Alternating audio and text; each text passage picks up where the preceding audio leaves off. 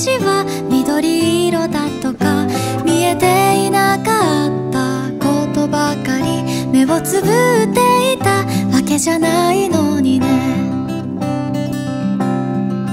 あれから10年も経ったこととかあなたには3年会っていないとか気づけば過ぎ去ったことばかり